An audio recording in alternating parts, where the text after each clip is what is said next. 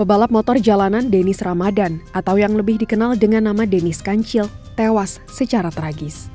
Ia meninggal dunia akibat kecelakaan di kawasan BSD City, Tangerang, Banten, Minggu 1 Oktober 2017 saat sedang melakukan setting motor di trek sepanjang 400 meter. Denis yang masih berusia 14 tahun punya sederet prestasi di ajang balap, Pebalap lintas lurus 201 meter tersebut terjun ke dunia balap karena terinspirasi salah satu pebalap drag bike, Alvan Cebong.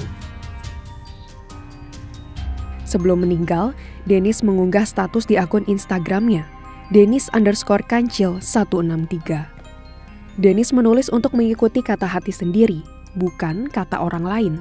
Ia juga menulis kalimat untuk siap mendarat dengan kaki yang kuat agar tidak terjatuh dan merasakan sakit.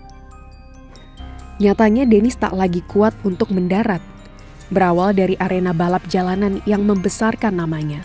Di jalanan pula menjadi akhir hidupnya. Banjir bela sungkawa datang dari warganet kepada pebalap muda drag bike tersebut.